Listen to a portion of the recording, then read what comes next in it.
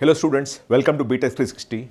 We've been doing a series of videos of all the IITs in terms of how to get in, what kind of cutoffs would get you, what branch in each of the IITs and also the placements, the kind of companies that come in, the kind of average salaries and the median salaries that are being offered by these companies. We've been discussing that for all the IITs.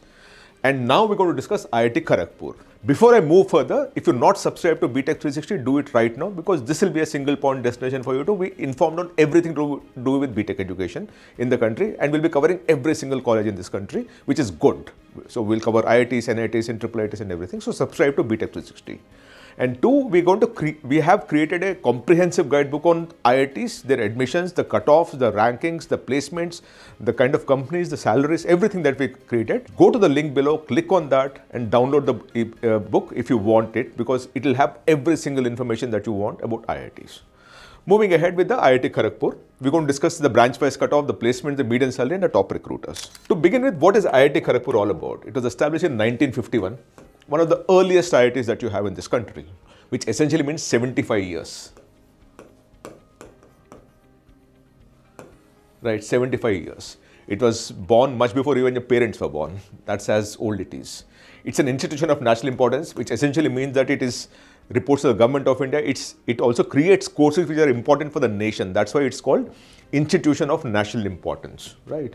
Uh, it is spread over 2100 acres, one of the largest IIT campuses that you have in this country right? The ranking is fifth best engineering college in this country, which essentially means that it's by the government of India. It's not a private ranking by the government of India. It is called NIRF ranking, which is National Institutional Ranking Framework. In that, it is ranked as the fifth best engineering college in the country. The total number of students for undergrad is 3,303, of which 82% are boys and 18% are girls, right? And about 85% uh, students come from outside the state right? So that is what we are talking of. And by the way, 14 students come from outside the country also. So it is very, very well structured at this point in time, right? That is about IIT Kharagpur in a nutshell. Now let's talk of what we are here talking about, which is placements. The placement data that I'm going to show you here is what's been filed with the government of India. And typically the placement don't, you know, sway dramatically. So we've, what we've done is though we have 24-25 data that is from the institute. Whereas what we wanted to take or show to you is the government of india data as filed latest in the uh, last in the month of april this year right? So when we looked at that data there were 717 students who were admitted in 23-24 of which 679 graduated 517 were placed. 83 moved for higher education. Now i keep saying this I uh, increasingly when I look for opted for higher education, uh, higher studies, I have a big question mark because off late since the ranking framework came in, to increase the percentage of placement, institutions have been, you know, uh, pushing people to move for higher studies when they're unable to place, which seems to have happened here also because earlier it was 40 only and suddenly it jumped to 83. And that raises a big red flag in my head because one of the things that we noticed again is that, you know, uh, in the good branches where placements are good, people are not moving to higher studies. And in not so good branches, uh, you know, when placements are bad, there are more students moving for higher studies. So there clearly seems to be a pattern about this opting for higher studies. But anyways, the placement percentage is 86.74% because 679 minus 83 is what they start working on. On that, 517 students were placed. So about 600 students graduated and you know when you reduce this 596 actually and 517 were placed. So 86.74% and the median salary is 19.76 lakh. Again if you look at this whole thing by the way this is government of India data. So that is where I am questioning you know look at the kind of dramatic shift.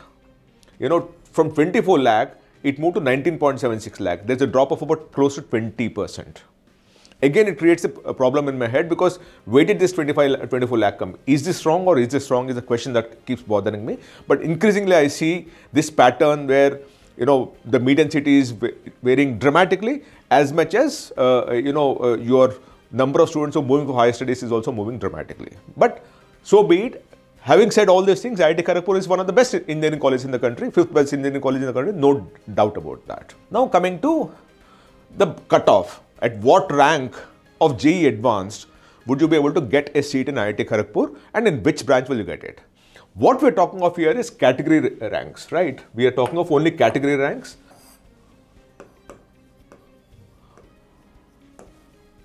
We're only talking of category ranks at this point in time. So to get BTech Computer Science and Engineering, you need to be the general quota 466 rank is what you're dealing with to get. So that's the last rank at which you could get a seat in IIT Kharagpur last year. This is last year's data. For EWS category rank 78, you could still get in there. OBC category rank 212, you could get into CS. SC category rank 108, you can get into uh, you know CS. And ST 68 category rank, you could get into CS. Similarly, for AI, it was 953 for general category.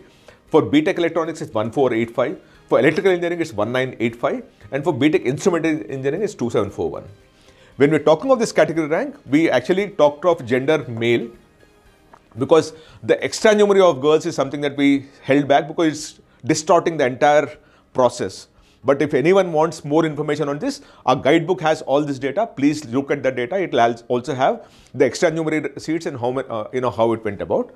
And we also removed the disability because that also was distorting the data. So we try to create something which is much more easily palatable in terms of understanding, which is where we, this entire thing happened. So AI it is 953 for general category, 143 for EWS category, 381 for OBC uh, NCL category, 268 for SC category, 90 for ST category. For electronics, 263 for EWS, 646 for OBC, 393 for SC, and 192 for ST. For electrical, 333 for uh, you know EWS, 884 for OBC, 560 for SC, and 246 for ST. For instrumentation engineering, 463, 1227, 943 and 787. Please take a uh, picture of that and you'll be able to understand this better.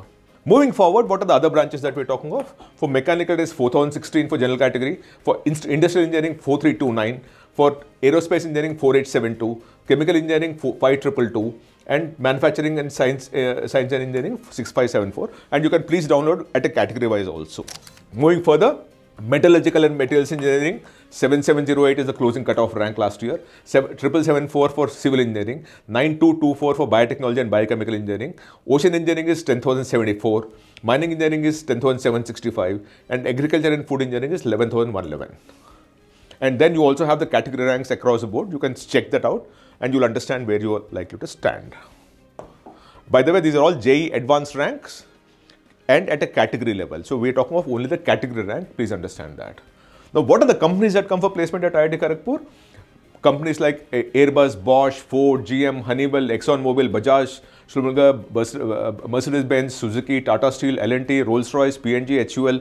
You also have, uh, you know, MasterCard and all, Accenture, consulting company, American Express, a bank, Fractpool, uh, Appwood, Stanchart, a bank, HSBC Bank, DC Advisory, which is investment banking firm, JP Morgan investment banking. So you actually have all kinds of companies, right from tech to FMCG to uh, you know consulting companies to banks to investment banks. You have all kinds of companies going there for placement. Now, we also looked at the LinkedIn profile to understand how the students of IIT Kharagpur have been performing because you know it's been there for such a long time. So obviously there are so many alumni who claim that they studied at IIT Kharagpur, have studied at IIT Kharagpur, and what are they doing at this point in their life?